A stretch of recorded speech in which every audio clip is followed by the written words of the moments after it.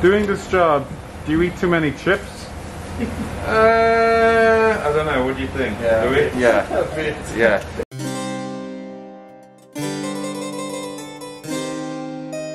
My name is Justin Brown. I'm a chef and I live in Lisbon. What time is it, Justin? 20 past 10 a.m. And I noticed that you're drinking Red Bull. Morning ritual at the moment because I'm working 15 hours a day, seven days a week. I was born in Bedfordshire, a little place called Biggleswade, which no one would have heard of. I used to live in Miami and before that Amsterdam. Lisbon's a city that we've always wanted to, uh, always wanted to live in. Are you not going to miss Miami Beach? Yeah, but you know, you've got plenty of beaches here, so I don't think it's uh, I don't think it's an issue, you know. What's that? Freshens you up for the day. Blinds. Lights off. And go for it.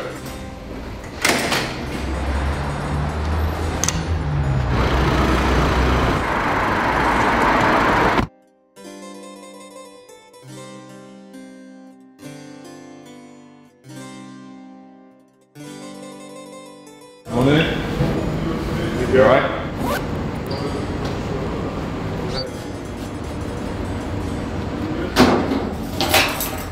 The comfiest things ever. Clogs. Oh, good chef wears them.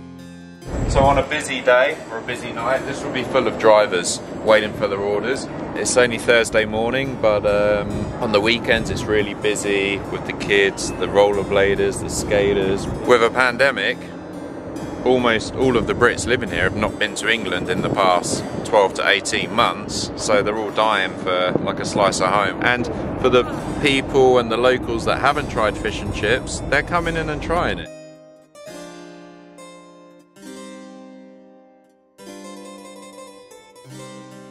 So the fish goes into the flour. This is a beer batter made with our own beer. You place it in slowly. It's all about patience. It's only fish and chips, but it's got to be done right. I give the fish a little turnover. Nice golden brown. What's the story with pickled eggs? Well, it's a way of preserving food, right? You pickled the eggs, they survive for months. People realise they actually taste good. We give them a quick salt, give them a little shake. Newspaper to kind of keep it authentic because in the UK you wrap the fish in newspaper. So that's the fish, nice crispy batter, great colour. I'll do you a little bit of a tartar sauce because it's my absolute favourite to go with fish. And then because it's a chippy, everything comes with vinegar to put on the chips. There you go. All right, we're going to eat it.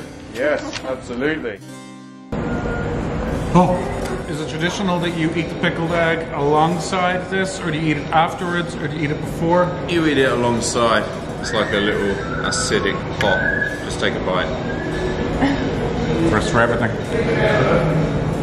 What's for dessert, Justin? Battered Mars bar. This is actually uh, an easy one to mess up. A thicker batter here, so it can stick to the chocolate bar itself. The problem with a Mars bar is it's chocolate and you're putting it into a fryer. It's a very delicate process. If, if you do not want to explode the chocolate into this fryer. Whipped The- cream as well? Yeah.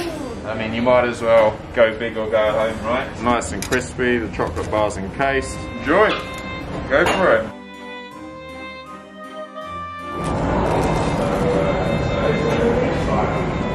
If this is our last video, somebody should sue Justin Brown, chef, for leading to massive coronary. Oh. Mmm, it is heavy. I'm going to bed. No worries. Thank you. Thank you, thank you.